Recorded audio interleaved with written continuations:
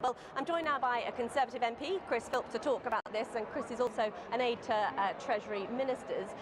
Why don't you just give businesses the certainty they want? Make a unilateral decision and say, we're going to go on to WTO rules, World Trade Organization rules. Well, that isn't what business is asking for. Business is asking for a transition deal. And since about February this year, the government's policy has been to secure exactly that kind of transition deal. And in fact, in the Florence speech just a few weeks ago, the Prime Minister said again that a transition deal for two years is exactly what the government is asking for. So what the CBI requesting is government policy, but of course it takes two to tango and we need the European Commission, the European Union to agree to that.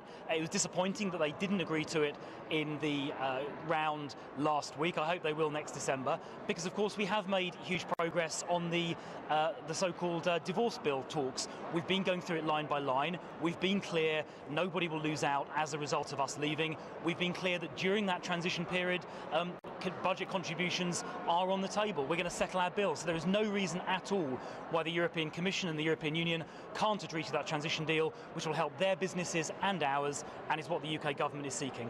Yes, this is exactly what Theresa May has been calling for to some extent, i.e. a two-year or around two-year transition deal. Obviously, uh, the CBI and others want it to be as close as possible to the existing uh, trading arrangements. But if the government accepts that this is what we want, do you then accept that uh, the urgency that businesses are talking about and the fact that it might be getting too late for them? Well, look, I mean, Angela Merkel herself said last week there will be a deal, so I don't think anyone needs to panic.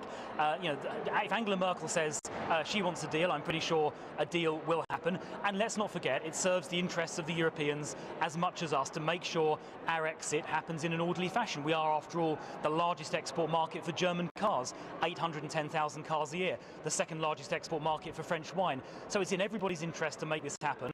I think the delay is on the European side, so I hope in December they behave reasonably and move these talks forward. Now, of course, in the background, we do have to prepare for a no-deal scenario, uh, prepare actively, and we are doing that, but it's not the outcome we want, and I don't think it's the outcome that the European Union want either.